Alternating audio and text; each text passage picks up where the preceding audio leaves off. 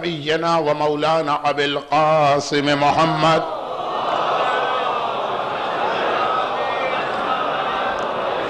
وآله وعطرته وأهل بيته الطيبين الطاهرين المعصومين المظلومين المنتجبين الميامين المكرمين سيما على بقية الله في الأرضين وحجته على العالمين الامام المنتظر والحجة الثانية شرع عجل اللهم له الفرج ولعنة الله على أعدائهم أجمعين.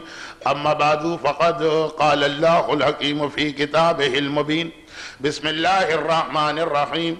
هو الذي بعث في الأميين رسولا منهم يتلو عليهم آياته ويزكيهم ويعلمهم الكتاب والحكمة وإن كانوا من قبل لفي ضلال مبين.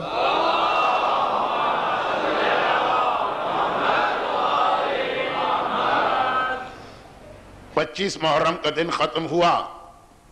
شب چھبیس شروع ہو گئی، لیکن اتنی عظیم اور واقعہ کربلا کے اعتبار سے اتنی اہم اور جو خاص میرا موضوع ہے، تزکیہ نفس کے اعتبار سے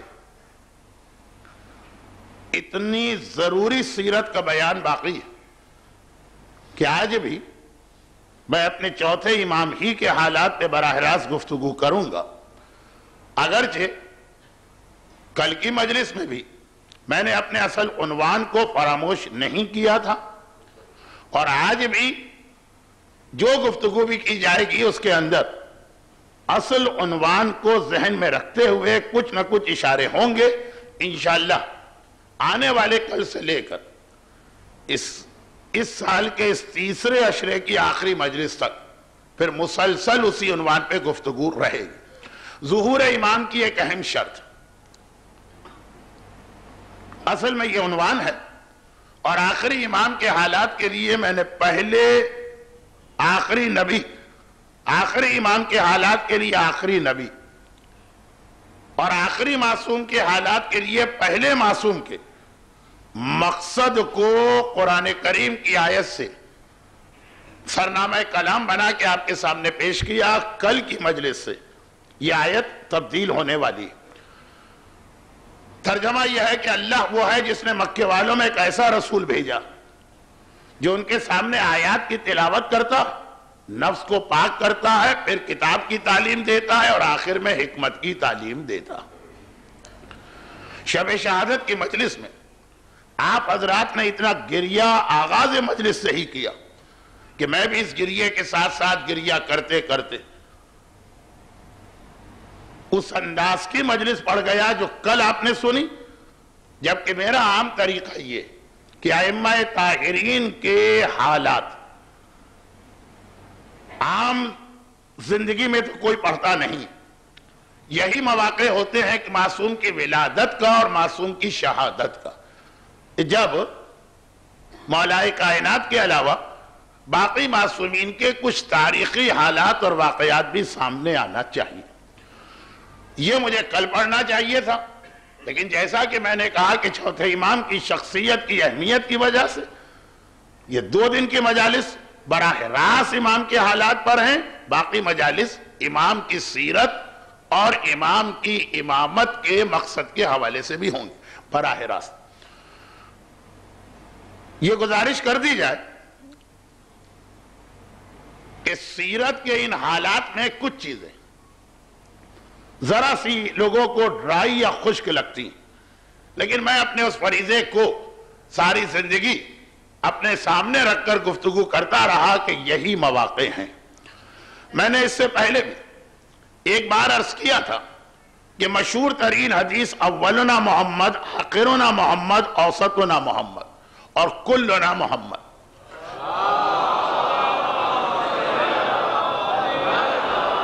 اہل بیت کے خاندان میں اگر ہم اس کے سامنے کوئی دوسری حدیث بنائیں، وہ حدیث تو نہیں ہے، وہ تو میرا جملہ ہے، علماء کا جملہ ہے خطبہ کا جملہ، حدیث تو نہیں، لیکن اسی انداز کا دوسرا جملہ بھی بنایا جا سکتا۔ اور وہ یہ کہ اس خاندان اہل بیت میں اولنا بھی علی، اوسطنا بھی علی، آخرنا بھی علی اور کلنا علی۔ اور اس اعتبار سے میرا چوتھا امام، علی اوسط۔ جیسے پانچواں امام محمد اوسط، چوتھا امام علی اوسط ہے، پہلے علی مولا کائنات ہیں، آخری علی ہمارے دسویں امام۔ اور ان کے درمیان جو دو علی چہردہ معصومین کے سلسلہ عصمت و طہارت و نور میں آتے ہیں، وہ دو علی جو درمیان میں آتے ہیں، ان میں ایک چوتھے امام ہے اور ایک آٹھویں امام۔ اسی لیے چوتھے امام کا ایک بہت مشہور لقب علی اوسط۔ بعض افراد آقا حسین کی اولادوں کے حوالے سے۔ یہ بات بیان کرتے کہ جی چوتھے امام کا لقب علی اوسط ہے، یہ تو ہر ایک کے نزدیک ثابت مگر کیوں؟ یہ بیچ والے علی کس اعتبار سے؟ تو جو زیادہ مشہور اور زیادہ معتبر رائے ہے، وہ میں نے ابھی پیش کی۔ کہ چاردہ معصومین میں جس جس کا نام علی، ان میں ہمارے چوتھے امام درمیان میں آ رہے ہیں۔ لیکن بعض علماء نے ایک روایت کتابوں میں لکھی ہے اور میرا مزاج نہیں ہے کہ ان باتوں کو ہماری قوم جو آلریڈی پہلے ہی پتہ نہیں کتنے حصوں میں تقسیم۔ اب تو اتنی اتنی سی بات پہ ہماری قوم میں دو فرقے بن جاتے ہیں۔ خالی دو خیالات نہیں کہ بھئی اب بعض لوگوں کی یہ ریسرچ ہے، بعض لوگوں کی وہ ریسرچ اب ہمارے یہاں ریسرچ کا مسئلہ نہیں ہوتا۔ ہر چیز پہ قوم تقسیم ہو جاتی ہے اور ایسی تقسیم ہوتی ہے۔ کہ وہ کافر ہے اور یہ کہتے ہیں یہ کافر تو اس لیے میں اور زیادہ احتیاط کرتا ہوں کہ جو مسئلہ عقیدے اور عمل کے اعتبار سے شریعت کا اتنا اہم حصہ نہ ہو۔ لیکن بعض علماء نے لکھا کہ یہ علی اوسط اس لیے کہلاتے ہیں کہ آقا حسین کی اولادوں میں یہ سب سے بڑے نہیں تھے، بیچ والے تھے۔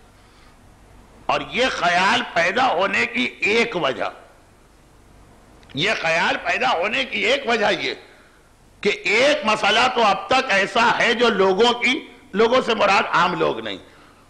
مورخین کی تاریخ دانوں کی سمجھ میں نہیں آ رہا۔ اور وہ یہ کہ آقا حسین کی شادی اتنی تاخیر سے کیوں؟ جو شہادت کا دن گزرا ہے، اس کے اختتام پہ شادی کے مسئلے کو جھیڑنا مناسب نہیں۔ لیکن ایک مسئلہ یہ کہ ہمارے چوتھے امام کی ولادت تھرٹی سیون ہجرہ میں ہوئی، جب آقا حسین کی عمر تقریباً پینتیس سال ہے۔ اگر جناب شہربانوں کو آقا حسین کی سب سے پہلی زوجہ مانا جائے اور چوتھے امام کو سب سے پہلی اولاد مانا جائے، تو ایک سوال یہ ہے لوگوں کے لوگوں کے ذہن میں کہ وہ اسلام جو شادی کے حوالے سے اتنی تاکید کرتا ہے کہ جیسے ہی تمہارا بیٹا یا بیٹی شادی کے قابل پہنچے اس کی شادی کرنا۔ اب ایک جملہ میں جو میرا اصل موضوع چل رہا، دنیا کے ہر مذہب میں تسکیہ نفس کا بہترین طریقہ یہ ہے کہ عورت سے دور رہو۔ کہا کہ جتنا اس دیواجی معاملات اور شادی بیاہ کے ادارے سے دور رہو گے، اتنا ہی نفس پاک ہوگا۔ جو شادی بیاہ کے چکر میں الجھا، وہ اب تقوی کی اور پریزگاری کی منزل طے کر ہی نہیں سکتا۔ تبھی جناب عیسیٰ کے ماننے والے ہمارے پیغمبر پر یہ تانا دیتے کہ کہاں کا تسکیہ کہاں کا تقوی، کہاں کی عصمت، کہاں کی طہارت گیارہ شادیاں کی۔ اور کہتے ہیں کہ ہمارے نبی کو دیکھ لو، ساری زندگی گزاری اور ایک دفعہ بھی اس دیواجی رشتے میں منسلک نہیں ہوئے۔ اب یہ بالکل ایک ایسا موضوع کہ اس پہ اگر میں چلا گیا تو براہ راست تسکیہ نفس کا عنوان شروع ہو جائے گا جو آنے والے کل سے شروع کرنا۔ مگر اسلام ایسے بے تکے خیال کا قطعاً قائل نہیں، بلکہ اس کو خلاف اسلام، خلاف شریعت، خلاف دین اور خلاف عقل قرار دیا۔ تسکیہ نفس کا مطلب شادی اور بیوی اور بچوں کے درمیان بیٹھ کر بھی۔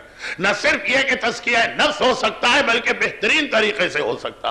اگر آپ کے سامنے اس وقت موجودہ دنیا کی وہ صورتحال جس پر پوپ کو بھی مثلا معافی مانگنا پڑ رہی، تو آپ کو پتا چلے گا کہ جن لوگوں نے اپنے آپ کو شادی کے ادارے سے دور کیا، اندرون خانہ کیا کچھ ہو رہا ہے اور کس طرح آج وہ اچھل کے آ گیا۔ کسی کو کمپنسیشن دیا جا رہا، کسی بچے سے معافی مانگی جا رہی، کسی کو بیس سال پہلے کے جرم پہ عہدوں سے ہٹایا جا رہا۔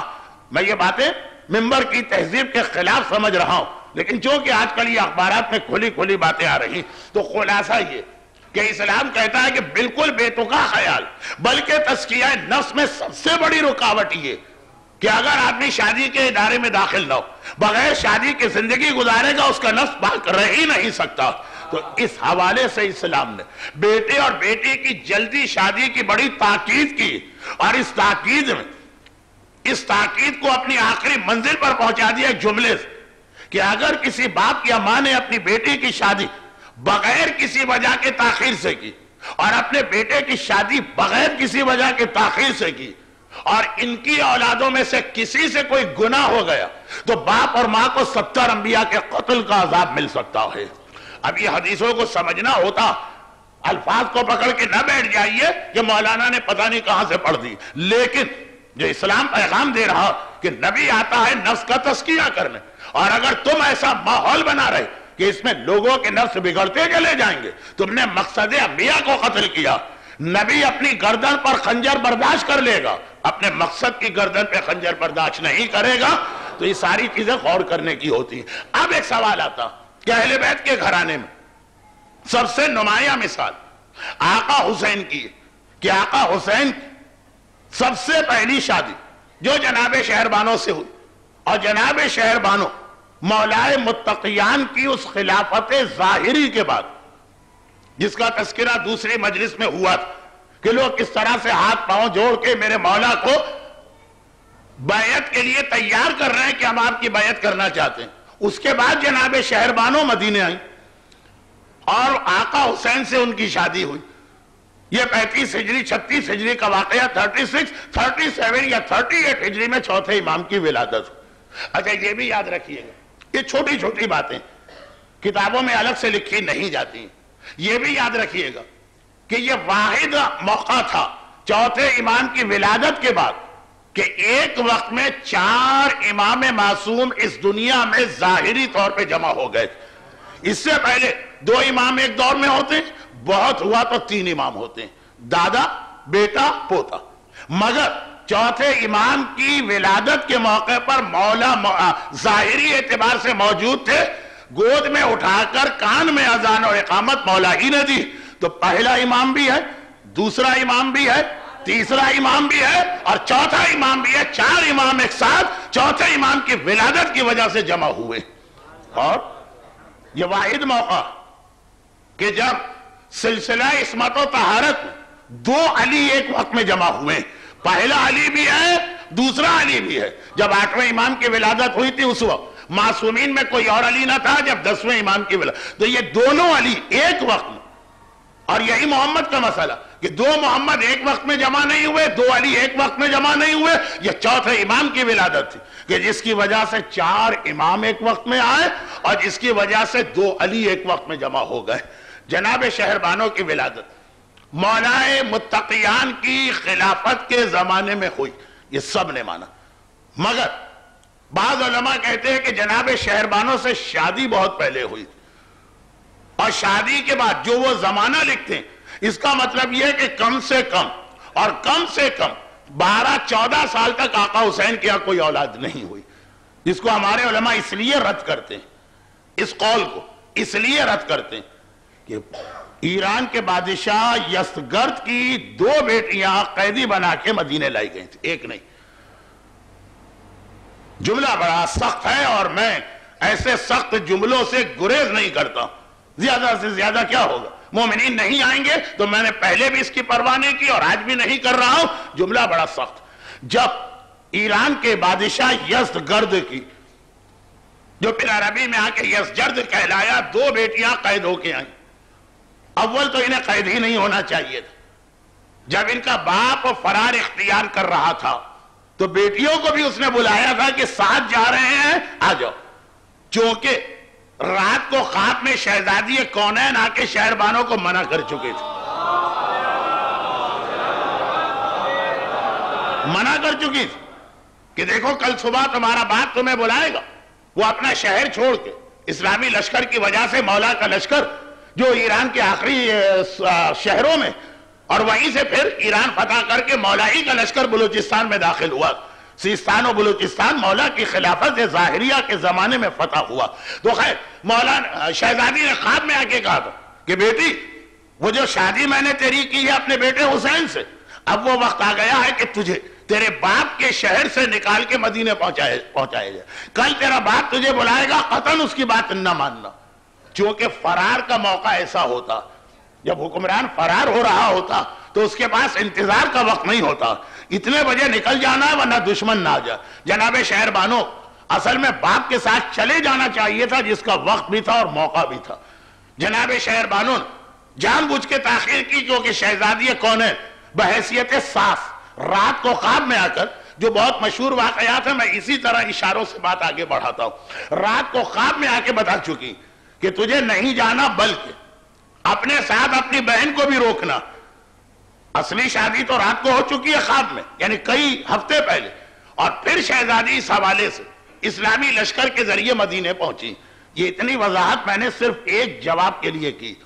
شہر بانو کنیز نہیں تھی کنیز وہ ہوتی ہے جو میدان جنگ میں، حالت جنگ میں گرفتار ہو۔ جناب شہر بانوں نے رضاکارانہ والنٹیئری اپنی گرفتاری دی ہے، ورنہ جب باپ جا سکتا ہے، بھائی جا سکتے ہیں، ماں جا سکتی ہے، تو یہ بھی جا سکتی تھی۔ تو خیر، یہ بڑی بڑی باتیں ہیں جس کو میں بہت جلدی سمیٹ رہا ہوں۔ مجمع کو عام طور پہ تاریخ سے دلچسپی نہیں ہوتی۔ اور میں اپنا فریضہ سمجھتا ہوں کہ یہی مواقع تو ہیں جب آپ اپنے امام معصوم کے اور ان کی ماں کے حالات پڑھیں۔ لیکن جب جناب شہر بانو مدینے آئیں، تو ایک ایسا جملہ انہوں نے کہا۔ جو ایسا جملہ کہا جو لوگوں کو بہت زیادہ ناگوار گزرتا۔ اور وہ یہ کہ جب وہ مدینے پہنچی، تو بہت بڑی بات تھی عرب کے بدو لوگوں کے لیے کہ دنیا کے سب سے بڑے بادشاہ کی بیٹی ہماری فوجوں کی مدد سے گرفتار ہو کے مدینے میں آئی۔ بڑا تجسس تھا۔ ہر مدینے والے کو یہ اشتیاق تھا کہ جا کے دیکھے تو صحیح۔ اتنی بڑی بڑی شہزادیاں۔ اور آج قیدی بن کے آئیں۔ جس وقت یہ سارا مجمع جمع ہوا جناب شہربانوں کے چہرے پہ نقاب تھی۔ سارا مجمع جمع ہوا۔ اور مدینے کے اندر عام نوجوان بھی ہیں، لوفر اور بدماغ قسم کے لوگ بھی ہیں، اپنے آپ پہ حد سے زیادہ غرور کرنے والے بھی۔ جناب شہر بانو یہ بھی ایک امتحان تھا۔ اس لیے کہ شہر بانو جس بیٹے کی ماں بننے والی ہے، اس کو آگے چل کر کوفہ و شام کے بازاروں میں یہی امتحان اپنے عروج پر دینا پڑے گا۔ تو پہلا امتحان ماں کا تھا۔ اس کے بعد بیٹا اس منزل امتحان سے گزرا۔ جناب شہر بانو مدینے کے ان لوگوں کے درمیان ایک فاصلے پر روکا ہوا ہے لوگوں کو، لیکن یہ ایران کی شہزادی، ایران کا بہت بڑا نام تھا، کسرا پرویز عربوں کے لیے ایک بہت بڑی چیز تھی، اور اس کی شہزادی، اس کی بیٹی۔ لوگ اشارے کر رہے ہیں، مذاق اڑا رہے جناب شہر بانو نے اپنی زبان میں کچھ کہا، فارسی میں۔ بس یہ جو جملہ سنا تو مجمع بفر گیا۔ آخر میں پھر اب مولا کے آنے کی باری ہے۔ پتا چلا کہ مولا آپ کے سپاہی واپس آ گئے ہیں، مال غنیمت آیا ہے، قیدی آئے ہیں۔ مولا ایز اے حکمران تشریف لا رہے ہیں۔ مولا، پہلے تو مجمع کو اس انداز سے کھڑا دیکھا، ڈانٹ کے بھگا دیا۔ کہا کہ وہ چاہے ظاہری اعتبار سے، کافر ہی صحیح۔ ابھی شہر بانوں کے اسلام کا جو رات کے خواب میں انہوں نے شہزادی فاطمہ کے ہاتھ پہ اسلام قبول کیا، اس کا مدینے والوں کو نہیں پتا۔ ظاہری اعتبار سے تو یہ کافر۔ کہا کہ اگر کافر بھی کوئی ہو، لیکن شریف اور محترم گھرانے کا ہو تو اس کا احترام رکھا جاتا۔ کیا تم لوگ یہاں مجمع لگا کے کھڑے ہو گئے؟ مولا کاش آپ کوفے کے بازار اور شام کے دربار میں بھی ہوتے۔ اور اسی انداز سے کہتے کہ ایک ایرانی بادشاہ کی بیٹیاں آ رہی۔ آپ کو مدینے کے متقی مسلمانوں کا بھی ان کے قریب کھڑا ہونا پسند نہیں۔ جبکہ وہ پورے حجاب کے ساتھ ہیں۔ آ کے ذرا دربار میں دیکھی آپ کی زینب آ کے ذرا بازار میں دیکھی آپ کی کلسوم خیر مولا نے مجمع کو بھگایا اب مجمع کو کچھ تو کہنا تھا۔ کہا کہ یا امیر المومنی ہم تو اس لیے اتنے غصے میں نظر آ رہے ہیں کہ یہ ہماری قیدی اور ہمیں برا بھلا کہہ رہی مولا نے کہا تمہیں کیسے پتا چلا برا بھلا کہہ رہی کہا کہ مولا، جب ہم اس کے اوپر اعتراضات کر رہے تھے یا مذاق اڑا رہے تھے یا ٹونٹنگ کر رہے تھے تو انہوں نے پلٹ کے کچھ کہا۔ تو اول تو ہم نے صاف سنا بھی نہیں اور پھر اگر سن بھی لیتے تو یہ ہماری زبان میں نہیں کہا۔ لیکن حالات بتا رہے ہیں کہ ہم ہی کو برا بھلا کہا ہوگا مولا نے کہا، نہیں، یہ تمہیں برا نہیں کہہ رہی۔ یہ اپنے دادا پر دادا کو برا کہہ رہی۔ مولا، وہ کیوں برا کہہ رہی؟ کہہ کیا رہی؟ کہہ رہی ہے کہ خدا لانت کرے خسرو پرویز پر۔ اگر اس نے پیغمبر کے خط کو نہ پھاڑا ہوتا تو آج اس کی بیٹیوں کو اس ذلت و رسوائی کے ساتھ یہاں پہ آ کے نہ کھڑا ہونا ہوتا۔ یہ کس پرویز کی بات ہو رہی؟ یہ اس بادشاہ کی بات ہو رہی۔ کہ پیغمبر کے پاس، پیغمبر نے جب اس کے پاس خط بھیجا، تو فقط اسی وجہ سے وہ اتنا آگ بگولا ہو گیا۔ کہ خط میں لکھا تھا، من محمد رسول اللہ الى کسرا عظیم الفارس. یہ اللہ کے رسول کا خط ہے، ایران کے بادشاہ کے نام۔ کہا، یہ پہلے میرا نام کیوں نہیں لکھا؟ یہ کون گستاخ ہے کہ اپنا نام پہلے لکھ رہا ادھر خط کو پھاڑا، ادھر مدینے میں۔ پیغمبر نے ہاتھ اٹھا کے کہا اللہ مزق ملکہ جیسے اس نے میرا خط دو ٹکڑے کیا، اس کی مملکت کو دو ٹکڑے کر دے۔ یہ پیغمبر کی دعا یا بد دعا، وہ جو تھی، اس کو جناب شہر بانو بیان کر رہی میں نے بار بار کہا کہ اس میں ایک بڑا سخت جملہ آتا ہے، ابھی تک تو کوئی جملہ نہیں آیا، نہیں، اب آ رہا۔ جس وقت ایرانی بادشاہ نے یہ خط پھاڑ دیا تھا، اس کے بعد اس کے بعد اس نے اپنے دو سفیر بھی بھیجے دیکھ کر تو آؤ، یہ کون گستاخ نوجوان جو آج اپنے آپ کو اتنا بڑا سمجھ رہا، وہ مدینے آئے تھے، پیغمبر کو تین بار سلام کیا تھا۔ کافر کے سلام کا جواب واجب ہے کہ واجب نہیں، وہ بحث ذہن میں رکھ کے۔ پیغمبر نے تینوں بار جواب تو چھوڑے، منہ پھیر لی سامنے سلام کیا تو ادھر، منہ ادھر آ کے سلام کیا تو ادھر، منہ ادھر جا کے سلام کیا تو پھر سامنے۔ گھبرا کے کہا کہ ہم سفیر بن کے آئے ہیں۔ سفیروں سے اس طرح کا سلوک نہیں ہوتا۔ پیغمبر نے کہا، مجھ سے تمہارا چہرہ دیکھا نہیں جا رہا۔ بات چیزیں ہیں کہ آدمی بہت کوشش بھی کرے، بڑے اخلاق کا اور مروت کا مظاہرہ بھی کرے۔ لیکن کسی جگہ گئے آپ وہاں پہ اتنی شدید بدبو کہ سارے اخلاق کے باوجود آپ سے بیٹھا ہی نہیں جا رہا۔ وہاں اتنی شدید گرمی۔ لے جا کے آپ کو بھٹی میں بٹھا دیا، اوون میں آپ سارے اخلاق کے باوجود برداشت نہیں کر پا رہے۔ پیغمبر نے کہا، مجھ سے تمہارا چہرہ دیکھا ہی نہیں جا رہا۔ میں کیا دیکھ کے بات کروں؟ ویلا کما منا مارا کما بحاظ ارے، ویل اور عذاب ہو تم پر۔ کس نے تمہیں حکم دیا کہ اس طرح داڑھی شیف کر کے میرے سامنے آتے ہو؟ دونوں نے کہا ہمارا نہیں ربی۔ ہمیں تو ہمارے رب کسرا نے کہا ہے کہ میرے دربار میں داڑھی کا کام نہیں ہے، داڑھی منڈا چاہیے۔ پیغمبر نے کہا، ولیکن امرانی ربی، لیکن میرا بھی ایک رب ہے جو رب العالمین ہے۔ اس نے حکم دیا ہے کہ میرے سامنے آنا ہے تو داڑھی رکھو۔ خدا کے سامنے جانا۔ تو جہاں خدا نہیں ہے، شریف رکھنے والی روایت کل سے شروع ہوگی۔ جہاں خدا نہیں ہے، وہاں جا کے داڑھی شیف کیجیے یا دوسرے الفاظ میں پیغمبر کی حدیث کو، اگر آپ اور میں دل و جان سے تسلیم کرتے ہیں کہ دنیا کا ہر آدمی نعوذ باللہ جھوٹ بول سکتا، اللہ کا رسول کبھی غلط بیانی نہیں کر سکتا۔ تو اس کا مطلب یہ کہ جہاں جہاں مومن داڑھی شیف کر کے جا رہا، اس کو یقین ہے کہ یہاں تو اللہ نہیں ہے، یہ جگہ تو اللہ کی نہیں ہے، یہ جگہ تو کسی اور کی ہے، یا تو اس کا یہ یقین ہے، یا اسے پیغمبر کے کلام پہ شک ہے، اور یا پھر۔ دونوں باتیں وہ مانتا ہے کہ اللہ ہر جگہ ہے، پیغمبر کا ہر جملہ صحیح ہے۔ لیکن ابھی تسکیہ نفس کی اس منزل پہ نہیں آیا جو آنے والے کل سے بات شروع ہوگی۔ تو یہ پیغام جناب شہر بانو، شہر مدینہ میں دے رہی ہیں کہ کاش میرے دادا نے یہ غلطی نہ کی ہوتی۔ جس کے نتیجے میں آج اس کی بیٹیوں کو اس طرح ذلیل اور رسوا ہو کے آنا پڑا۔ مگر دونوں بہنیں تھی نا۔ مولا نے شہر بانوں کا نکاح تو آقا حسین سے کیا جب آقا کی عمر تقریباً چوتیس سال۔ اور دوسری کا نکاح محمد ابن ابی بکر سے کیا۔ جس طرح شہزادی نے ہمیشہ جملہ بڑے فخر کے ساتھ کہا، اسی طرح مولا نے بھی ایک جملہ بڑے فخر کے ساتھ کہا۔ شہزادی کا جملہ یہ ہے کہ عباس میرا تیسرا بیٹا، حسن میرا لال، حسین میرا لال، عباس میرا تیسرا بیٹا۔ یقیناً فاطمہ زہرا کی ظاہری اولاد میں نہیں ہے، لیکن فاطمہ نے ہمیشہ فخر سے عباس کو اپنی اولاد قرار دیا۔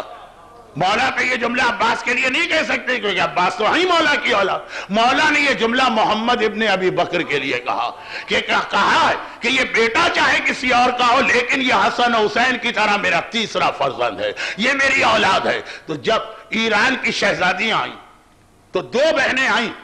ایک کی شادی اگر آقا حسین سے کی، جس کے نتیجے میں میرے چوتھے امام پیدا ہوئے تو ان کی چھوٹی بہن گیہان بانوں کی شادی، محمد ابن ابی بکر سے بالکل اپنی اولاد کی شادی کے انداز سے کی۔ اور جن سے وہ قاسم پیدا ہوئے کہ جو چھٹے امام کے نانا قرار پائے اور یہاں سے تقریر کہیں اور چلی جائے گی۔ مگر سوال یہ پیدا ہوا علماء میں کہ آقا حسین کی پینتیس سال میں پہلی شادی کیسے ہو اور اتنے بڑھاپے میں تقریباً داخل ہونے کے بعد سینتیس سال میں اولاد، یہ ایک مسئلہ ہے جس پر بڑی بحث ہو رہی۔ جس کا خلاصہ یہ کیا واقعان کبھی حالات ایسے ہوتے ہیں واقعان کہ شادی میں تاخیر کرنا پڑتی ہے، اس پہ بات کبھی اور سن لیجیے گا۔ مگر مگر، یہ تو چوتھے امام کی والدہ کی شادی کی بات تھی، جس کے اندر انتہائی اہم رول شہزادی کون ہے؟ فاطمہ زہرا سلام اللہ علیہ کا۔ میں نے پورا واقعہ اس لیے نہیں پڑھا کہ آپ حضرات ولادت کی محفلوں میں اور اب تو چوتھے امام کی ولادت بڑے بھرپور طریقے سے منائی جاتی۔ وہ شابان کی چند تاریخیں مسلسل ایسی آ جاتی کہ واقعا مجھے وہ زمانہ بھی یاد ہے کہ پندرہ بیس مومنین آ کے بیٹھتے تھے، لیکن اب تو یہ واقعہ تو آپ وہاں سنتے ہیں کہ جب چوتھے امام کی ماں کی شادی ہوئی، تو گویا اس میں سارا حصہ جو ہے وہ شہزادی کون نے لیا۔ مگر خود جب چوتھے امام کی ایک شادی ہوئی تو فاطمہ کی ماں خدیجہ طاہرہ اس شادی کے اندر شامل ہوتی۔ بہت ہی مشہور روایت۔ خود چوتھے امام کی روایت ہے۔ اسی حسینی زہرا کے اسی ممبر پر۔ میں نے نائنٹین ایٹی تھری کے رمضان میں تیس میں سے پچیس دن جناب مختار کے حالات پہ ایک مختار نامہ پڑھا تھا۔ اس کے اندر تفصیل کے ساتھ واقعہ آیا۔ آج تو میں کل کی مجلس میں آپ حضرات کے گریے نے جس طرح سے کائنات کو رولا دیا، میں بھی بیٹھا چلا گیا۔ اپنے موضوع کو ذہن میں رکھتے ہوئے میں نے بات کی۔ کل کون سی بات نہیں آئی؟ نماز کی بات ہوئی، حجاب کی بات ہوئی، لیکن تاریخ بیان کرنے کا کل موقع نہ تھا۔ سال میں دو ہی تو موقع ملتے ہیں جہاں چوتھے امام کی، تفصیلی تاریخ آتی ہے تو اب خود چوتھے امام کی روایت، جو عام کتابوں میں کم لکھی جاتی ہے، مختار نامے میں زیادہ۔ اور وہ یہ کہ چوتھے امام فرما رہے ہیں کہ ایک رات یعنی خود چوتھے امام کے لیے یہ غیر معمولی بات تھی ان یوزول ایک رات کچھ دیر کے لیے میری آنکھ لگ گئی۔ اب جیسے کل میں نے کہا کہ چوتھے امام ساری زندگی روزے سے رہے، مگر عید و بقرعید کا روزہ تو حرام۔ ساری زندگی، ساری رات نماز پڑھتے، لیکن دوران نماز دو چار منٹ کے لیے آرام کرنا۔ بلکہ وہ تو اسلام کا حکم بھی ہے۔ امام فرما رہے ہیں کہ میں نمازوں کے درمیان ایک لمحے کے لیے میں بستر پہ لیٹا اور ایک لمحے کے لیے زیادہ نہیں، آنکھ لگ گئی۔ میں نے خواب میں دیکھا۔ اب یہ پورا واقعہ چوتھے امام خود بیان کر رہے ہیں۔ ہم اور آپ بیان کرتے تو اس کے بعد الفاظ ہم بدل دیتے ہم کو اچھے نہیں لگتے۔ کہ امام نے فرمایا، میں جنت میں ہوں۔ میں نے دیکھا کہ میں جنت میں ہوں۔ اور اب جنت اہل بیت اتھار کے نگاہ میں اس کی حیثیت کیا؟ لیکن بہرحال جنت اللہ کی ایک بہت بڑی نعمت۔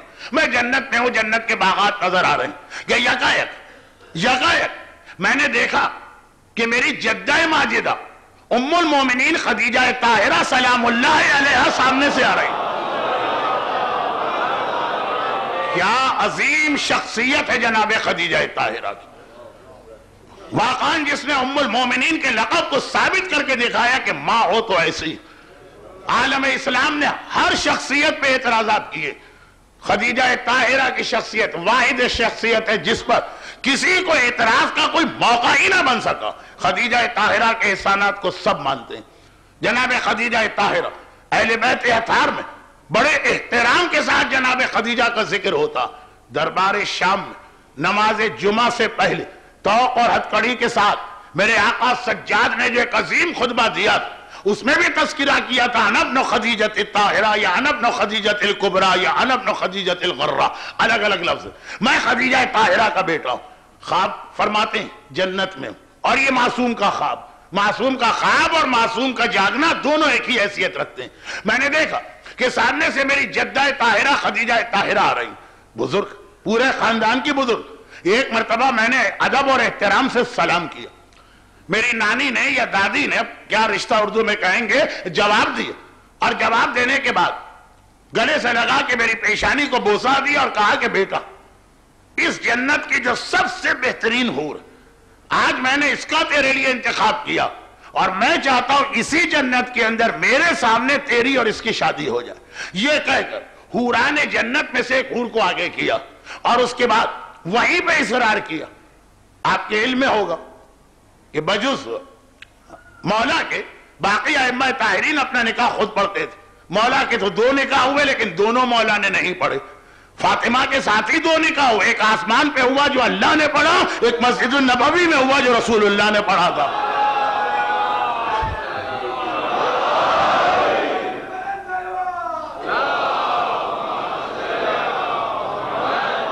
فرماتے ہیں چوتھے امام؟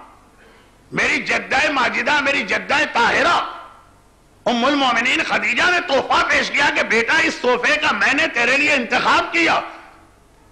ساری حوران جنت پہ جو سب سے بہترین، خاص تیرے لیے، وہیں پہ نکاح ہوا۔ چوتھے امام کہتے ہیں کہ ابھی نکاح سے میں فارغ ہوا۔ خود ہی نکاح پڑا کیا کھل گئی۔ دو منٹ، ایک منٹ جو تاکید بھی ہے کہ عبادت کے درمیان ان راتوں کو چھوڑ کر جس میں پوری رات جاگنے کا الگ سے ثواب لکھا۔ باقی راتوں کی عبادت میں کچھ آرام کرو۔ جیسے ہی میری آنکھ کھولی تو اب ایسا لگا کہ یہ آنکھ یعنی خود سے نہیں کھولی ہے، کسی آواز کی وجہ سے کھولی دو طریقے ہوتے ایک آدمی کسی وقت اٹھنے کا عادی یا نیند پوری ہو گئی، آرام پورا ہو گیا، آنکھ کھول گئی ایک ایک نہیں، ابھی سونا تھا لیکن ٹیلی فون کی گھنٹی بج گئی۔ مگر موبائل بولا، یہ دروازے کی گھنٹی بجی۔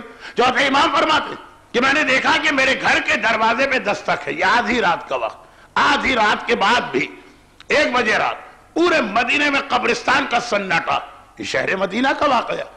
ساری گلیاں سنسان پڑی عشاء کی نماز سے لے کے نماز شب کے افضل وقت تک پورا مدینہ کیا۔ دنیا کا ہر شہر چودہ سو سال پہلے سو جاتا۔ اس اندھیرے میں میرے گھر کے دروازے پہ دستک کی آواز آ رہی۔ چنانچہ غلام گیا۔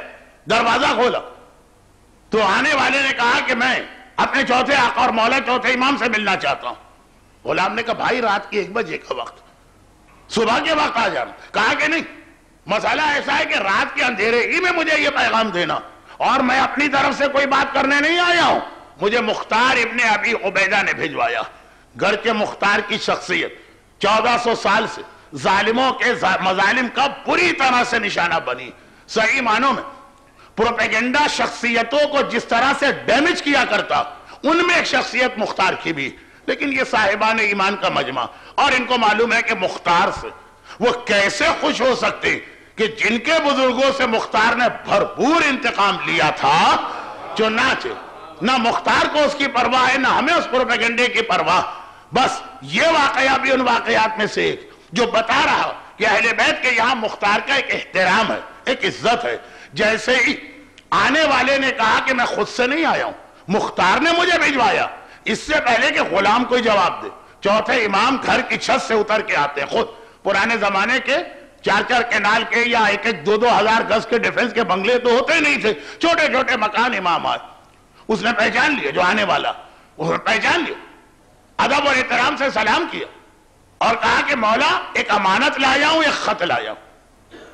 اتنا اندھیرا ہاتھ کو ہاتھ سجائی نہ دے۔ اب پتا چلا کہ اس کے برابر میں سر سے پیر تک کالے برقے یا کالی ابا کے اندر۔ رات کا اندھیرا، روشنی اس زمانے میں بجلیاں تو بجلی تو سامنے ہی نہیں آئی تھی۔ اور پھر کالا لباس اور تھوڑے فاصلے میں کھڑی ہوئی وہ شخصیت۔ چنانچہ کسی کو نظر ہی نہیں آیا۔ خط اور یہ امانت۔ بس میں جا رہا ہوں۔ اور میرے آقا مختار نے کہا تھا کہ بڑے چپکے اور خفیہ طریقے سے جانا۔ اندھیرے میں جانا، اندھیرے میں آ جانا، کسی کو پتا نہ چلے۔ مولا تو جانتے بھی تھے، لیکن ظاہری اعتبار سے خط کھولا۔ مختار نے لکھا تھا کہ مولا، ہماری فوجیں سندھ کے علاقے کو فتح کرتے ہوئے آگے جا رہی۔ یعنی آج کل کی زبان میں ہم کہیں گے کہ ہماری فوجیں سندھ کو فتح کر کے پنجاب کی جانب بڑھ رہی۔ اور سندھ کے علاقے سے جو کنیزیں آئیں، ان میں ایک ایسی قابل احترام اور پابند حجاب کنیز آئی کہ اس کی، اب اس کی جو احتیاط دیکھی میں اپنے موضوع کا ایک جملہ کہہ دوں۔ مختار کہتے میں نے جو اس کے نفس کی پاکیزگی دیکھی، جو میں نے اس کا تسکیہ نفس دیکھا۔ اور یہ جملہ عام حالات میں ذرا وضاحت طلب ہوتا۔ آج وقت بھی نہیں لگ رہا چوتھے امام کے حوالے سے، لیکن اتنی سی بات۔ کنیزیں جب قید ہو کے آتی ہیں نا، وہ اپنے آپ کو زیادہ سے زیادہ نمایاں کرتی ہیں۔ وہ اپنے آپ کو اپنے آقاؤں کے سامنے پیش کرتی ہیں، تاکہ میرے حسن و خوبصورتی کی وجہ سے میری قیمت سب سے زیادہ لگے۔ سب سے زیادہ مالدار مجھے اپنے ساتھ لے کر جائے، یہ بالکل برعکس نیز ہے۔ مولا، جو میں نے اس کا تسکیہ نفس دیکھا، یہ لفظ خط میں نہیں، یہ میں نے اپنے موضوع کی وجہ سے کہا، لیکن خط کا مفہوم یہ۔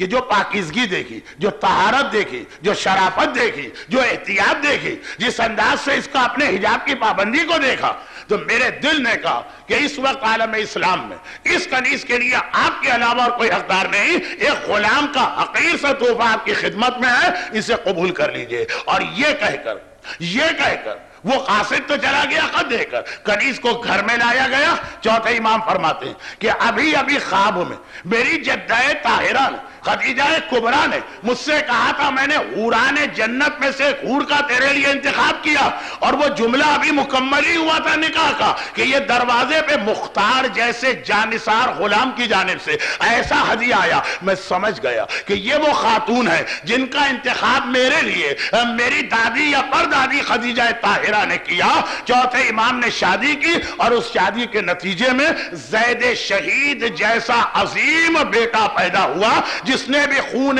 کربلا کا انتقام لیا۔ درود بھیجے محمد والے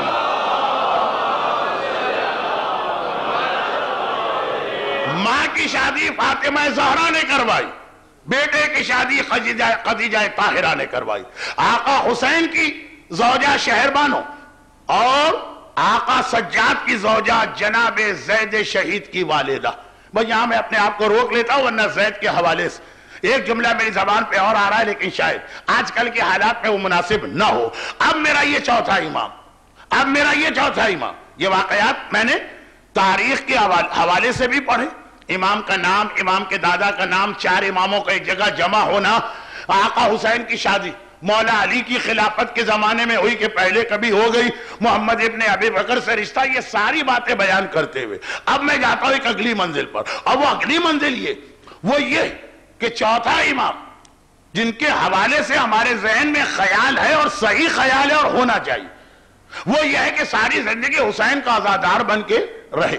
مگر یہ یاد رکھیے گا کہ اس آزاداری کے درمیان چوتھے امام نے اتنی عبادتیں انجام دی کہ وہ القاب دیکھیے سوچنے کی بات، زین العابدین یہ وہ لقب ہے جو مولا پہ سجتا سید الساجدین وہ لقب ہے جو اہل بیت کے گھرانے میں بہت پہلے دے دیا جانا چاہیے۔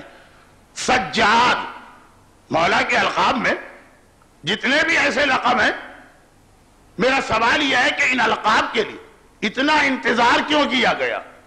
کہ چھٹے معصوم اور چوتھے امام تک کے لقب روکے کس کے لیے گئے؟ ورنہ جو اہل بیت اطہار کی عبادتیں اس کے اعتبار سے تو بہت پہلے یا رسول اللہ یا مولا علی یا بہت ہوا تو آقا حسین۔ آقا حسین کے بارے میں انہی چوتھے امام کا ایک جواب آپ کو یاد ہے نا؟ راوی نے کہا کہ مولا کیا بات؟ اب دیکھیں یہ آقا حسین کی شخصیت کے کچھ بڑے عجیب سے پہلو ہیں جن پہ ہمارے ہاں بیان نہیں ہوتا۔ آقا حسین کی شادی میں اتنی تاخیر کیوں؟ آقا حسین کو اولاد اتنے عرصے کے بعد کیوں ملی؟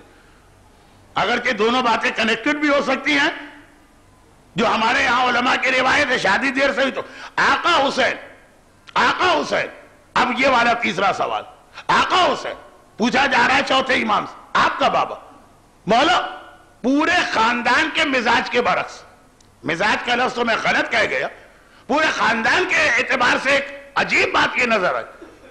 کہ سب سے کم اولادیں آپ کے بابا کی۔ رسول خدا ایک ایکسپشنل کیس لیکن مولا کو دیکھیے، امام حسن کو دیکھیے، اور بات کے ائمہ تاہرین ساتواں امام۔ چودہ سال پوری زندگی جیل میں رہا، لیکن چالیس سے لے کے ساٹھ اولادیں بتائی جاتی۔ تو اب ایک سوال یہ پیدا ہو رہا کہ آقا حسین کی اولادیں اتنی کم کیوں تھی تو جواب یہی ملا نا کہ تجھے کم اولادوں پر حیرت ہے۔ اور مجھ پہ تو مجھے تو اس پر حیرت ہے کہ اتنی اولادیں بھی کیسے ہو گئی؟ تجھے کیا پتا کہ میرا بابا عبادت کا کتنا شوقین تھا؟ صبح سے شام تک حسین مسلح پر ہے، شام سے صبح تک حسین مسلح پر ہے۔ ارے ارے، مشکل کچھ آگے بیٹے نے کبھی کسی کے آگے سوال کے لیے ہاتھ نہیں پھیلائے۔ ایک علی کی دعا بہت مشہور ہے کہ اللہ کے دربار میں، اللہ کی بارگاہ میں ہاتھ پھیلایا تو کس لیے پھیلایا عباس چاہیے تھا۔ اور ایک آقا حسین کا سوال بہت مشہور۔ اگرچہ اپنے لیے نہیں ہے، لیکن بظاہر تو آقا نے سوال کیا۔ کہ عباس، عمر ساس سے جا کے ایک رات کی مہلت لے کے آؤ۔ خالی یہ نہیں کہا کہ وجہ بتائی۔ میں نے زندگی میں کوئی رات اپنے پروردگار کی عبادت کے بغیر نہیں گزاری۔ دل چاہتا ہے دنیا چھوڑنے سے پہلے ایک رات اور مکمل اور بھرپور طریقے سے عبادت خدا کرو یہ حسین کی عبادت ہے اور اس کے حوالے سے سوال کہ مولا آپ کے بابا کی اولاد اتنی کم کیوں ہے جو اس وقت تک کے اہل بیت کے خاندان کے طریقے کے برعکس؟ مولا سے زیادہ عبادت گزار کون ہوگا جو صفین کے میدان میں برستے ہوئے تیروں میں نماز اول وقت پہ ادا کرتا؟ مولا سے زیادہ عبادت گزار کون ہوگا؟ جس کے پاؤں میں تیر لگا لیا جائے اور نماز میں نکالا جائے تو پتہ نہ چلے۔ مولا سے زیادہ عبادت گزار کون ہوگا؟ جو حالت رکو میں زکاة دے کر انگوٹھی کی زکاة دے کے اعلان ولایت اپنے حق میں کروا لے، مگر ان کی بھی اٹھائیس اولادیں۔ علی جیسا زاہد، عابد، مقدس، متقی انسان۔ تو اب یہ سوال ہوا۔ اور آقا سجاد کا جواب تھا۔ میرے بابا کو مسلح پہ کھڑا رہ کر ساری ساری رات عبادت۔ اتنی پسند تھی۔ کہ جتنی اولادیں ہو گئی، ان اولادوں پر بھی مجھے تعجب ہے۔ مگر مگر، مشہور لقب یہ آقا حسین کا نہیں بنا؟ مشہور لقب یہ مولا کائنات کا نہیں بنا؟ جن کے پاؤں سے تیر کھینچو تو پتہ نہ چلے جو صفین کے میدان میں برستے تیر میں نماز پڑھے۔ نہ وہ زین العابدین قرار پائے، نہ وہ سید الساجدین قرار پائے، نہ وہ سجاد قرار پائے، نہ وہ زفنان چوتھے امام کا ایک لقب ہے زفنان گٹوں والا۔ روایت یہ ہے کہ ہر سال اتنی کسرت کے ساتھ، پورا سال آپ نے کچھ جملے کل سنے، آج جملات سن رہے اتنے سجدے کرتے تھے اور اتنی نمازیں پڑھتے تھے کہ ہر سال کے اختتام پر۔ لفظ شاید اچھا نہ ہو، سرجری کرانا پڑتی، ہر سال کے اختتام پر۔ پیشانی کے اس گٹے کو جو سجدوں کی کسرت کی وجہ سے پڑ گیا۔ اور ہاتھ کے ان گٹوں پر جو سجدوں میں ہاتھ رکھنے کی وجہ سے اور پاؤں کے ان گٹوں پر جو گھٹنے حالت سجود میں زمین پہ رکھے جاتے ہیں۔ اس کسرت کے ساتھ اتنے گٹے بنتے تھے کہ ہر سال کے اختتام پر ان گٹوں کو کاٹنا پڑتا تھا اور باقاعدہ تھیلی میں امام کے ساتھ بقی میں دفن کیے گئے۔ ذو صفنان یعنی یہ بات یہ بات امام کے سجدوں کے حوالے سے کہی جا رہی۔ تو سوال یہ پیدا ہوتا کہ یہ چاروں لقب اتنی تاخیر سے کیوں آ رہے ہیں؟ تو مولا ہی میں یہ لقب استعمال ہو جانے چاہیے۔ حسین ہی کی عبادت میں، وہ زین العابدین بھی بن گئے، وہ سید الساجدین بھی بن گئے، وہ سجاد بھی بن گئے، وہ ذو صفنان بھی بن گئے۔ یہ چوتھے امام کا اتنا انتظار کیوں ہوا؟ چوتھے امام کے سجدوں کی دو خصوصیات ہیں جو ان کے چاہنے والوں تک پہنچانا۔ پہلی خصوصیت یہ کہ چوتھے امام نے مسائب کے جن مراحل میں یہ سجدے کیے اگر علی ہوتے تو علی بھی یہی طرز عمل اختیار کرتے۔ اگر حسین ہوتے تو حسین بھی مسائب میں اسی طرح سجدے کرتے۔ لیکن حالات کے تحت چونکہ یہ موقع چوتھے امام کی زندگی میں بنا۔ عام زندگی میں سجدے کرنا بھی ایک کمال کی بات۔ جو میں نے کل ایک آج جملہ میں اکثر کہہ دیتا ہوں۔ ایئر کنڈیشن کمرے کے اندر ڈبل کارپیٹ کے اوپر ساری سہولتوں کے ساتھ کے سامنے پانی بھی رکھا ہے، بھوک لگے تو کھانا بھی رکھا ہے، گھر والے بھی خیر و عافیت کے ساتھ ہے وہ بھی بڑی بات ہے، سجدے کرنا۔ کتنے لوگ اس حالت میں ہمارے یہاں سجدے کر رہے ہیں؟ لیکن جس انداز سے سجاد نے سجدے کیے یہ مسائب علی پر نہیں آئے، یہ مسائب حسین پر نہیں آئے۔ ایک بات، دوسری بات جو بہت اہم ہے، کیونکہ پہلی بات جو ہے نا اس سے تو ہمارا پریکٹیکل تعلق اتنا زیادہ نہیں۔ کیوں مسائب ہم پر آ ہی نہیں سکتے۔ دوسری بات۔ اور مسائب کے بعد بھی پینتیس سال کی بھرپور ازاداری کے درمیان جس انداز سے سجاد نے نمازیں اور سجدے انجام دی اور بتایا کہ ازادار حسین کہتے کسے اور بتایا سجاد جیسا ماتمی کہتے کسے سجاد کو قیامت تک کے ماتمی اور ازادار کو بتانا تھا کہ ازاداری اور ماتم کے ساتھ سجدہ کتنا ضروری اب آئیے یہاں پہ دو روایتیں سنی یہ دو روایتیں ایسی کہ بعض علماء نے ایک روایت لکھی تھی، بعض نے دوسری لکھی، لیکن جب دونوں تاریخ کی اوراق پر آ گئی تو پھر ہمارے علماء نے کہا کہ یہ واقعہ ایسا لگ رہا ہے ایک بار نہیں، دو بار پیش آیا۔ واقعہ ایک ہی لیکن لگ رہا ہے کہ دو بار پیش آیا۔ ایک روایت وہ یہ ہے کہ میرا مظلوم آقا اتنی عبادت کربلا کے بات کرتا تھا کہ خاندان والوں کو ڈر لگنے لگا کہ ایسا نہ ہو کہ عبادت کی وجہ سے سجاد ہلاک ہو جائے، عبادت کی وجہ سے شہید ہو جائے۔ جناب زینب کی شہادت ہو چکی، جناب ام کلثوم دنیا سے جا چکی، جناب ام البنین کا انتقال ہو چکا۔ اب خاندان میں مولا کائنات کی ایک ہی بیٹی رہ گئی تھی، میرے مظلوم آقا سجاد کی پھوپی تو خاندان کے سارے افراد نے کہا کہ ہمارے ساتھ تو دو مسئلے۔ ہم رشتے میں بھی آقا سے چھوٹے ہیں اور ہم رتبے میں بھی آقا سے چھوٹے۔ وہ ہم سب کے امام۔ آپ کم از کم اگر رتبے میں چھوٹی ہیں، علی کی بیٹی ہونا اور ہے، مگر سجاد تو آپ کا بھی امام۔ کم از کم عمر اور رشتے میں بڑی ہے سجاد کی واحد زندہ رہنے والی پھوپھی۔ اور پھر وہ ایک بات چیت ہوئی، ایک یہ واقعہ، جو کہ بالکل ایسا ہی دوسرا بھی واقعہ۔ اس لیے میں وہ دوسرے واقعے کو پڑھتا ہوں۔ دوسرا واقعہ کہا جاتا کہ ولید ابن عبد الملک ابن مروان ابن حکم نے ایک بار جو وہ مدینے آیا، حج پہ تو ہر سال آتے تھے۔ آقا سجاد سے بھی ملاقات کی۔ کہاں کی، کیسے کی، کیا وجہ ان کو پڑ گئی، وہ باتیں چھوڑیے، ملاقات کی۔ اور اس میں ایک جملہ کا۔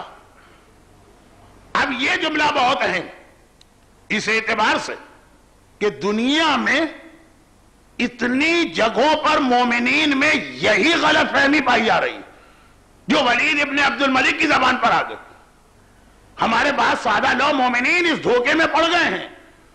وہی ان کا عقیدہ بن گیا ہے، وہی ان کا نظریہ بن گیا جو ولید کا نظریہ تھا۔ ولید نے ٹونٹنگ کے طور پہ یہ بات کہی۔ سجاد کی پھوپھی نے جب سجاد سے گھر میں ملاقات کی تو بزرگانہ شفقت کے ساتھ وہ بات کہی۔ الفاظ دونوں کے الگ الگ تھے مطلب دونوں کا ایک تھا۔ یعنی خلاصہ یہ نکلا کہ سجاد کی عبادت نے گھر والوں کو بھی حیران، پہلے حیران کیا اور پھر تشویش میں مبتلا کر دیا۔ اور سجاد کی عبادت نے ولید ابن عبد الملک کو حسد میں مبتلا کیا۔ گھر والے حیران ہو کے تشویش میں آئے کہ آقا کو نقصان نہ پہنچ جائے۔ ولید ابن عبد الملک کو حسد ہو رہا۔ یہ عبادت دیکھ کر۔ خالی دولت دیکھ کے حسد نہیں ہوتا، خالی زمینیں دیکھ کے حسد نہیں ہوتا، خالی کسی کی اولاد کی ترقی دیکھ کے حسد نہیں ہوتا، خالی علم پہ حسد نہیں ہوتا، کبھی عبادتوں میں بھی حسد ہوتا۔ یعنی کیا حسد ہوتا؟ حسد کسے کہتے؟ ہم تو وہ عبادت نہیں کر رہے یہ کیوں کر رہا ہے؟ اس کو روکو کسی طرح عبادت سے۔ اس کا نام تو حسد نہیں ہے نا کہ یہ اتنی عبادت کر رہا، ہم بھی کریں۔ گے نہیں، ہم تو نہیں کریں گے، اس کو بھی روکنا۔ ولید ابن عبد الملک، وہ آتا۔ اور آنے کے بعد دو واقعات ہیں۔ ایک محبت کی وجہ سے بنا اور ایک دشمنی اور عداوت کی وجہ سے بنا۔ ایک گھر کے اندر کے بزرگ نے سوال کیا اور ایک گھر کے باہر کے بدترین دشمن نے سوال کیا۔ گھر کے باہر کے دشمن کا سوال اس لیے دوہرا رہا ہوں کہ اگر محب اہل بیت ازادار حسین اور سجاد کو پرسا دینے والے کا وہی نظریہ بن جائے۔ جو ولید ابن عبد الملک کا تھا تو قیامت ہے قیامت۔ وہ آگے کہتا، اب اس وقت جو بات اسے کرنا، عبادت کے حوالے سے کرنا ہے نا، تو ہے ٹونٹنگ ہے تانا، ہے تن انداز ذرا بدلا۔ کہا کہ آپ تو فرزند رسول آپ تو سید ہاشمی آپ کا تو رتبہ اتنا بلند۔ اللہ نے آپ کو جنت دے دی۔ آپ ساقی کوثر کے پوتے آپ خود مالک کوثر آپ کا دادا قسیم جنت و نار ہے۔ پھر آپ کو اتنے سجدوں کی کیا ضرورت؟ یہی جملہ ہمارے ہیں نا کہ جی ہاں، مولانا، ہمیں کیا ضرورت ہے نماز روزے کی؟ ہم تو علی کے ماننے والے ہیں، ہمارا مولا وہی جملے، قسیم جنت و نار، ہمارا مولا ساقی کوثر، یہ جملے ولید ابن عبد الملک چوتھے ایمان سے کہہ رہا، بلکہ ہمارے لیے شاید یہ جملہ اتنا صحیح نہ ہو، ہم علی والے ہیں۔ پتہ نہیں علی قبول بھی کریں، یہ میرا والا ہے کہ نہیں ہے، یہ بھی تو ایک مسئلہ ہے نا۔ مگر سجاد کے بارے میں تو شک ہی نہیں ہے۔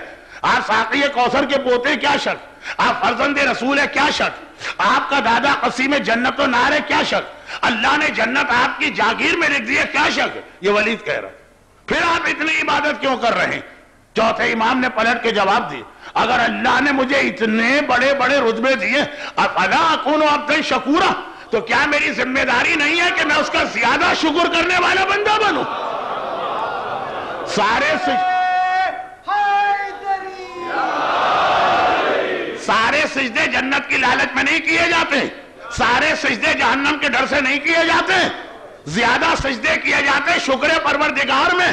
اس نے اتنی نعمتیں دی ہیں۔ اس نے اپنا فریضہ ادا کیا نعمتیں دے کر۔ ہمارا فریضہ ہے کہ اس کا حق ادا کریں سجدے کر کے اور میں ایک جملہ کہتا ہوں، یہ جملہ شاید میں غلط کہہ رہا ہوں۔ شاید یہ جملہ میں غلط کہہ رہا ہوں۔ اس وقت میرا ذہن حاضر نہیں ہے، تو اگر یہ غلط جملہ ہے تو میں بہرحال اللہ سے بھی اور جن آقا حسین کا ممبر ہے، ان سے بھی اور مجمع سے بھی معافی چاہتا ہوں۔ لیکن میری نیت ٹھیک ہوگی، میں فیصلہ نہیں کر پا رہا۔ اور وہ جملہ یہ کہ آقا سجاد نے کہا کہ اللہ نے اتنی نعمتیں دی ہیں، اس لیے شکر ادا کرتا ہوں۔ تو ایسا صاحبان ایمان کیا اللہ نے آپ کو نعمتیں نہیں دی، بلکہ ایک نعمت تو ایسی ایسی ہے جو آل محمد کو شاید نہ ملی ہو۔ اب میں نے شاید ڈال دی، وہ آپ کو ملی۔ جو آل محمد کو شاید نہ ملی ہو آپ کو ملی ہو۔ جب آل محمد کہتے ہیں کہ جتنی نعمتیں اس نے دی ہیں، اس پر حق بنتا ہے کہ اللہ کے آگے سجدہ کریں تو آپ کو تو ایک نعمت ایسی بھی ملی ہے جو ان سے بھی بڑھ گئی۔ تو آپ کیسے شکر کا سجدہ نہ کریں؟ وہ یہ کہ اللہ کے پاس بہت نعمتیں سب سے بڑی نعمت کیا۔ ایسی کون سی نعمت ہے جسے دینے کے بعد خدا یہ کہہ دے کہ اب تو میں دیکھتا ہوں تو نعمتیں تمام ہو چکی ہے اس سے بڑی کوئی نعمت ہی نہیں ہے۔ الیوم اکملت لکم دینکم واتممت علیکم نعمتی۔ علی جیسا مولا کائنات کی سب سے بڑی نعمت آپ کو ملا۔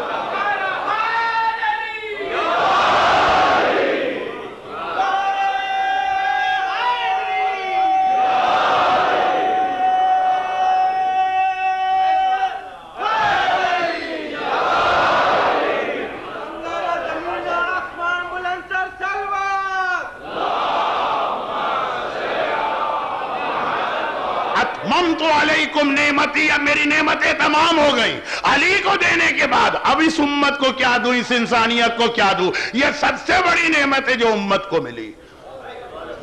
اور یہ وہ نعمت ہے جس کے لیے میں کہہ رہا تھا۔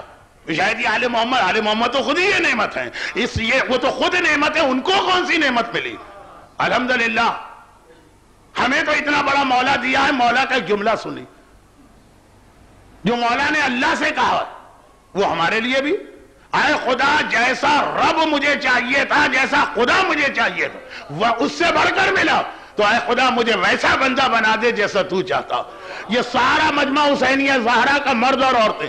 جیسا مولا ہمیں چاہیے، اس سے بڑھ کے ہمیں مولا ملا۔ مولا بھی فخر سے کہہ دے کہ جیسا شیعہ مجھے چاہیے، اس سے بڑھ کر مجھے شیعہ ملا ہے۔ بس یہ ہے سجاد کے زین العابدین ہونے کا راز۔ یہ ہے سجاد کے زفنان ہونے کا راز۔ یہ ہے سجاد کے سجاد ہونے کا راز۔ کہ نمازیں سب نے پڑھی، عبادتیں سب نے کی ہیں۔ مگر جن مسائب میں کی اور اس کے بعد مرتے دم تک اس ازاداری کے درمیان کی ہیں، اور سجاد جب ازاداری کے اس مرحلے میں پہنچے۔ تو جہاں سے میری مجلس شروع ہوئی تھی نا، بالکل مجھے یاد ہے، اس کے الٹ پہ مجلس ختم ہو رہی۔ الٹ تو نہیں، اس کے دوسرے حصے پر۔ مجلس شروع ہوئی تھی۔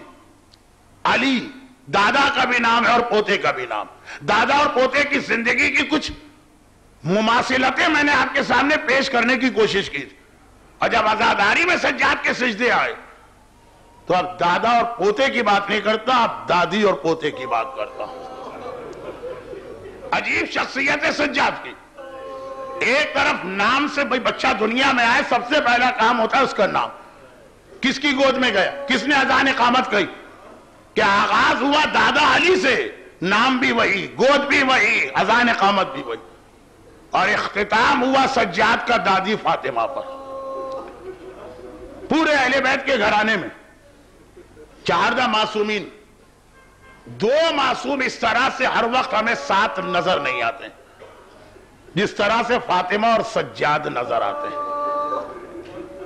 پہلا تو وہی جملہ کافی کتاب خسال شیخ صدوق میں امام لکھتے البکاؤن خمسن، جب سے دنیا بنی ہے رونے والے تو خالی پانچ گزرے۔ بکا کہتے سیغہ مبالغہ بہت رونے والے۔ ان میں چوتھے نمبر پہ کہا میری جدہ فاطمہ، پانچویں نمبر پہ کہا میرا دادا سید سجاد علی عبد الحسین۔ پورے چاردہ معصومین میں بھی رونے کے حوالے سے۔ اگر دو کا تذکرہ کیا ہے تو وہ دادی اور پوتے کا۔ ہے غسل خانے سے غسال کے رونے کی آواز نہیں آتی۔ جب غسل خانے سے غسال کے رونے کی آواز آئی، تو یا تو دادی کے غسل میت کے وقت غسال میرا مولا رویا، یا پوتے کے غسل کے وقت میرا مولا باقر رویا۔ ٹھیک؟ اب ایک روایت اور سن لیجیے وہ آپ نے بہت سنی۔ اور دنیا میں جہاں کہیں حسین کا تذکرہ ہوتا، ممبر کے قریب آ کے پوتا بیٹھتا ہے ازاداروں نے جہاں جوتیاں اتاری ہے وہاں آ کے دادی بیٹھتی دادی اور پوتے کے حالات آپ کے سامنے پیش کر رہا ہوں۔ دنیا میں جہاں کہیں مجلس ہوگی، پوتا بھی اس مجلس میں آئے گا، آغاز بیان میں یہاں ممبر کے قریب نظر آئے گا۔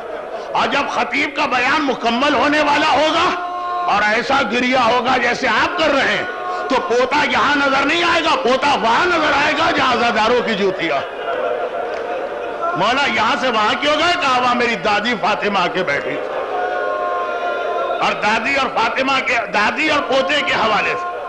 دادا اور پوتے سے بات شروع کر کے دادی اور پوتے پہ آخری جملے کہہ رہا ہوں۔ اور اور دنیا میں ہمیں جوانی میں بوڑھا ہوتا کوئی نظر نہ آیا۔ یا یہ دادی فاطمہ تھی جو جوانی میں بوڑھی نظر آئی؟ یا پوتا سجاد تھا جو جوانی میں بوڑھا نظر آیا؟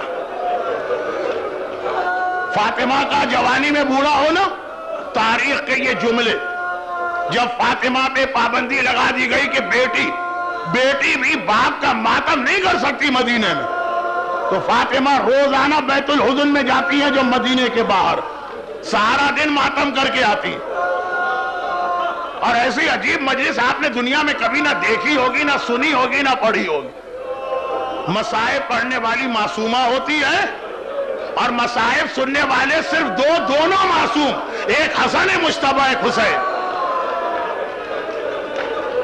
اور مسائب پڑھنے والا کیا مسائب پڑھتا؟ اور تو مجھے نہیں پتا، اتنا پتا ہے۔ اپنا لکھا ہوا نوحہ ضرور پڑھتی ہوں گی۔ سبت علیہ مسائب اللہ سبت علیہ میں سر نہ لیا لیا۔ مگر قابل غور بات ہی ہے۔ کہ محرخ نے لکھا ہے روزانہ صبح کو۔ شہزادی اپنے حجرے سے بیت الحزن جاتی اور اس طرح جاتی ہے، ایک ہاتھ میں آسا دوسرے ہاتھ میں حسین نے انگلی تھامی حسن ماں کے ساتھ ساتھ۔ شام کو اسی طرح واپس آتی آسا ہے، حسین ہے اور حسن۔ سرسری سننے والا بیان نہیں ہے۔ میں نے مورخ اسلام سے سوال کیا، اتنا بتا دے۔ اسا تو بڑھاپے کی نشانی ہے نا؟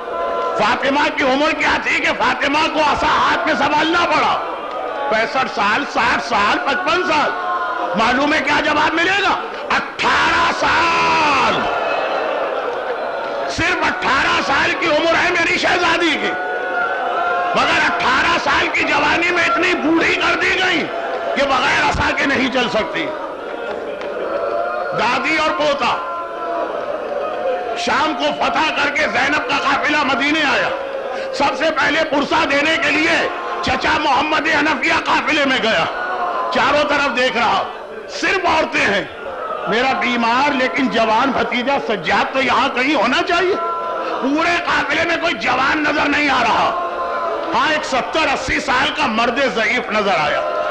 سر کے بال سفید، داڑھی کے بال سفید، گھموں کے بال سفید۔ چہرے پہ جھریاں ہیں، کمر جھکی ہوئی سگا چچا قریب جاتا۔ اے مرد بزرگ، میں اپنے جوان بھتیجے سجاد کو ڈھونڈ رہا ہوں۔ نظر نہیں آ رہا کیا تو بتا سکتا؟ ایک فریاد بلند کی اس مرد بزرگ نے۔ چچا محمد حنفیہ، انا علی ابن الحسین۔ میں ہی تو آپ کا جوان بھتیجا سجاد ہوں۔ بے اختیار گلے سے لگایا۔ ارے چچا گلے سے لگائے۔ بھتیجا کہے، چچا اس طرح نہیں، آہستہ آہستہ۔ محمد حنفیہ نے کہا، بیٹا، یہ کیا کہہ رہا؟ کہا، چچا، ایک سال تک جو توق خاردار گلے میں تھا، اب تک اس کا زخم موجود ہے۔ گلے سے لگائیے، مگر آہستہ۔ بس آخری دو جملے اور آپ کی زحمتیں اور تمام۔ اگر کوئی فاطمہ سے پوچھے، شہزادی اٹھارہ سال میں آپ ضعیفہ کیسے ہو گئی تو فاطمہ کے کئی جواب ہوں گے۔ کبھی کہیں گی میرے گھر کا جلا دروازہ دیکھو۔ کبھی کہیں گی میری کمر کا کوڑا، کبھی کہیں گی میری ٹوٹی پسلیاں، کبھی کہیں گی میرا موسین اور سجاد سے پوچھا گیا، آپ جوانی میں کیسے بوڑھے ہوئے؟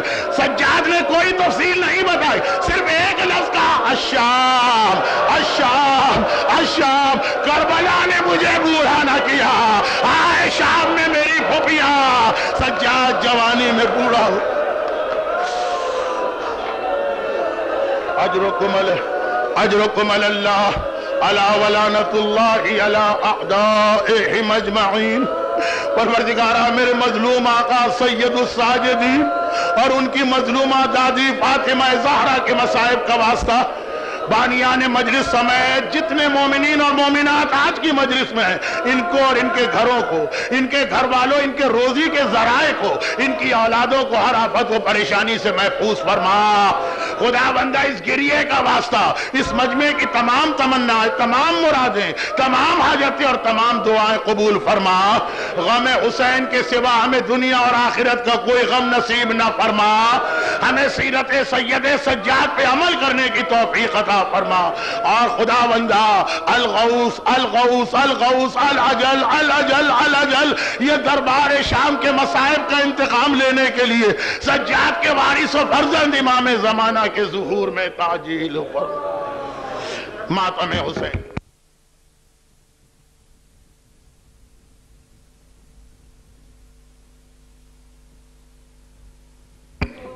یا حسین یا حسین یا حسین یا حسین یا حسین یا حسین یا حسین یا حسین یا حسین یا حسین۔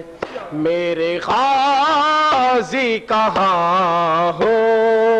میرے غازی کہاں جاگیر سے چل پڑا قافلہ، میرے غازی کہاں ہو؟ اے میرے با وفا ہے بہن بیردا میرے غازی کہاں ہو؟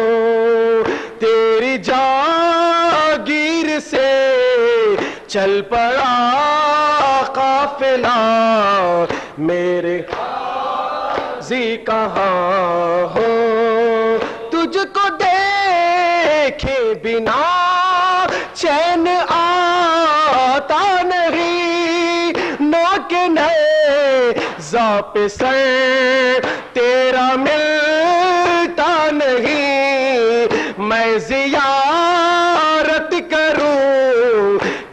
طرح یہ بتا، میرے غازی کہاں ہو؟ تیری جاگیر سے چل پر قافلہ، میرے غازی کہاں